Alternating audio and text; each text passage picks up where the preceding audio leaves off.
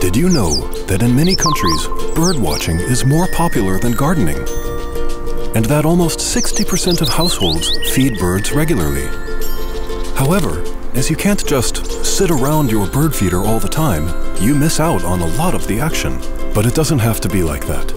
We are starting a revolution on the bird feeder market. Etnobird presents the first of its kind, a well-designed smart bird feeder that takes photos of wild birds. It then makes them instantly available across mobile devices via our app.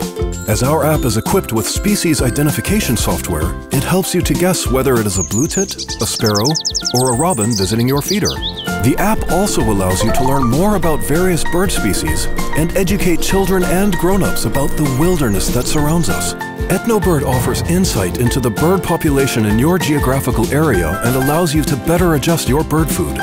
It even lets you publish the feeder's activity instantly so you can share all the fun with other bird lovers and people passionate about birds and nature.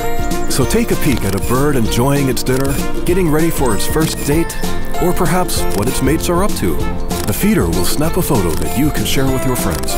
Should your feeder run out of seeds, a notification is sent to your phone reminding you to place additional food in the feeder. You also have the option of ordering seeds conveniently from the Etnobird app. As all Etnobird feeders are connected to a global network, you can see which wild birds are visiting feeders around the world in, say, Japan, the United Kingdom, or Canada. Support your local bird gang. Order Etnobird here.